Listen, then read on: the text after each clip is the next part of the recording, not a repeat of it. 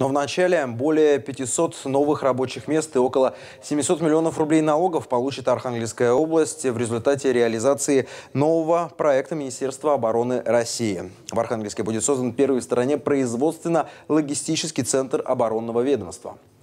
Это масштабный проект в рамках государственно-частного партнерства, который будет работать в интересах Министерства обороны и будущих гражданских заказчиков. Его успешная реализация закрепит за Поморьем статус транспортно-логистического центра, обеспечит новые рабочие места, налоги и инфраструктуру. Важно, что это будет еще обустроена значительной транспортно-логистическая инфраструктура. Речь идет о дорогах, подъездных путях, э, системах электро, водоснабжения, теплоснабжения.